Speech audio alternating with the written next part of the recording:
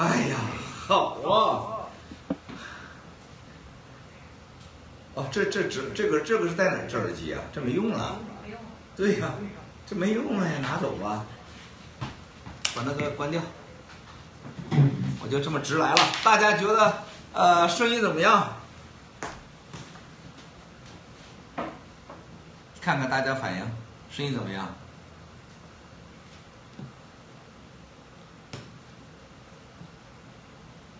可以吧？好。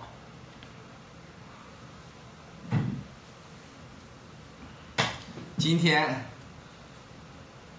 尊敬的推友们、微友们、微博的朋友们，所有在看文贵爆料直播的所有的观众们，大家好。这是文贵九月一号，九月一号，二零一七年，文贵反盗国贼，反盗国贼。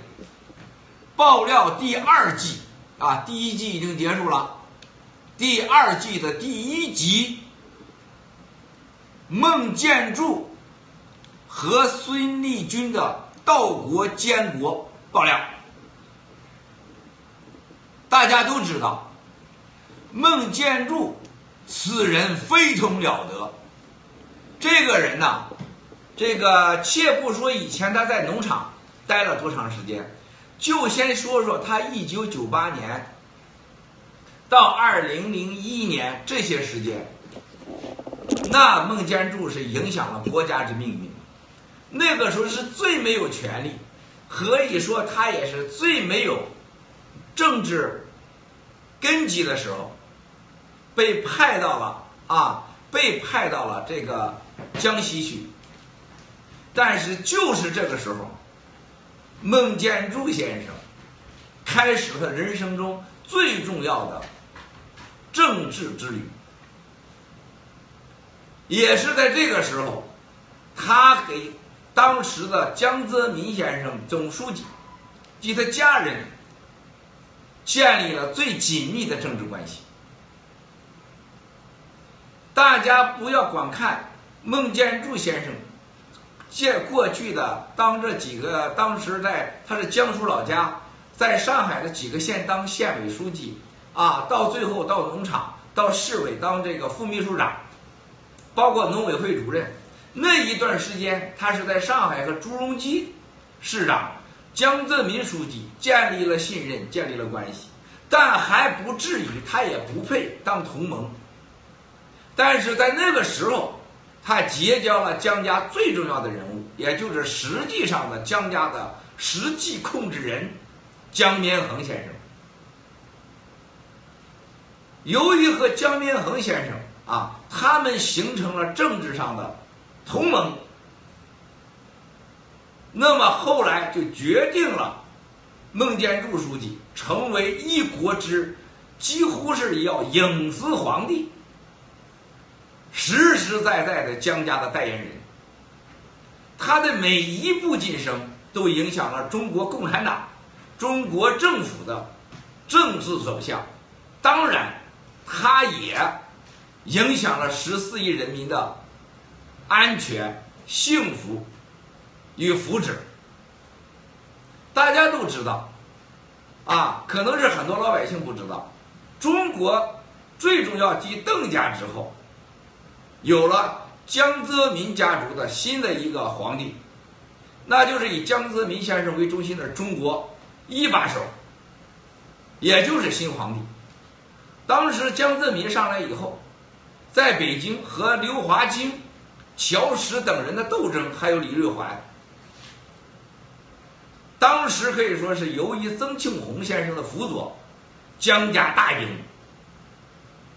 但是江家继全重整了部队以后，夺回了公检法的这个刀把子，呃，夺在江家彻底夺得了枪把子和中纪委的脚镣子，然后即利用朱镕基和王岐山这些年来的勾搭和利益集团，彻底的啊垄断了中国的金融。这就是为什么大家看到中国过去的二十年，基本上啊，基本上没有脱离这个家族的影子。过去三十年和现在三十年，这个说法是不准确的，因为姜和曾的前十年也是处于在争权夺利的时代。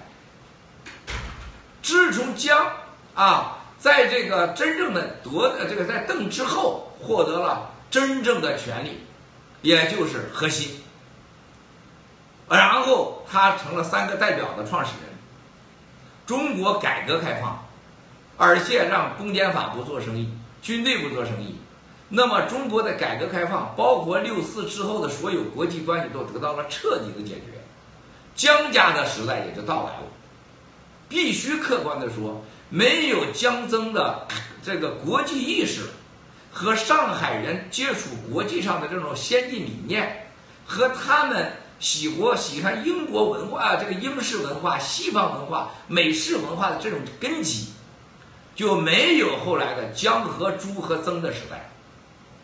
但是这个时候，继刘华清啊，继这个呃乔石被收拾掉以后。邓家基本处于守势，等待到他们家隔代子的胡锦涛上任的时候，姜家是开始了新的姜家王朝的开始。也就是有一本书叫叫江泽民先生写写的江泽民先生的，他改变了中国。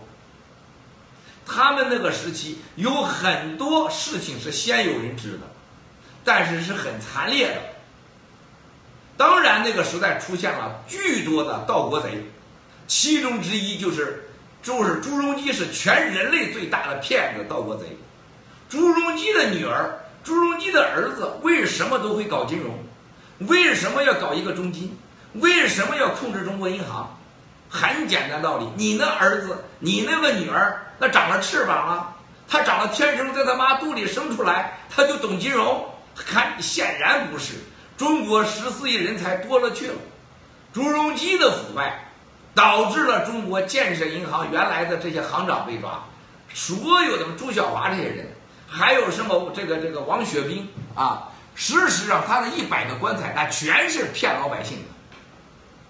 恰恰相反，是由于江珠时代在经济领域的改革开放走向国际，成就了中国经济，但是让下岗职工事实上在迁入 WTO 的时候。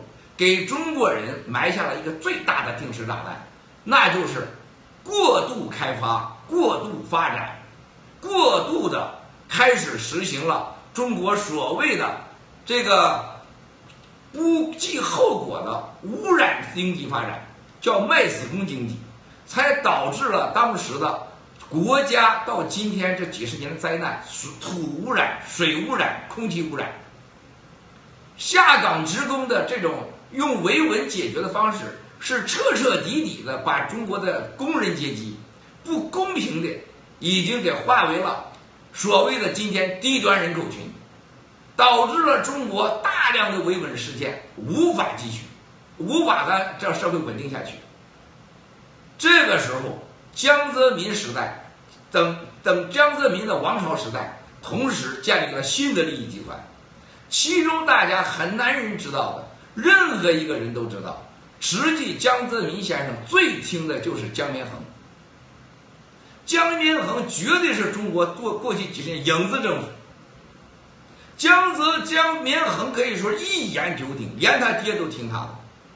有时江泽民先生爱和女服务员聊天，在屋里坐着跟外面的隔壁房间的女服务员拿电话聊天。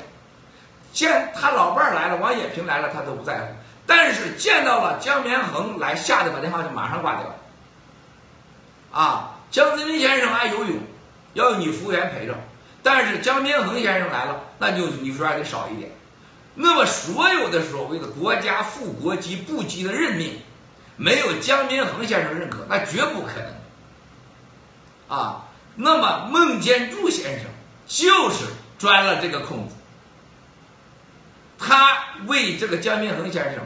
啊，威胁别人，恐吓别人，按需杀人，江民恒先生从2004到2008几年几次换肾，在南京医院，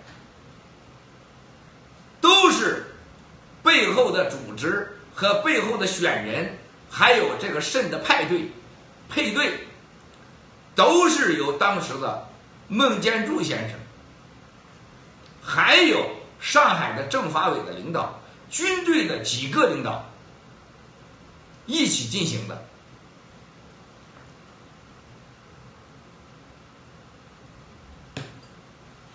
这个孟建柱和江民恒先生的生死之交，就是从江民恒的换肾开始。从换肾到经济基础，江民恒先生统治了上海银行，统治了上海实业国际发展，统治了上海九四公司，统治了上海的科技领域，包括当时中国的网通，后来的联通。还有田树宁啊，跟他搞的联通，这个背后的运作人，也就是杀手级的人物，遇佛杀佛，遇神杀神的人物，其中之一就是孟建柱。也就是说，在二零零一年这个左右，孟建柱书记一直到二零零四，那是和江建恒先生建立了最最深厚的革命友谊。把过去的革命基础、革命关系再次确认为是江家的代言人。孟建柱书记在江西期间，他的所作所为无人不知。其中一个最重要的，大家要是看一看，今天维稳当中最关键的是什么呢？信访，信访。信访的中央负责人是谁呀？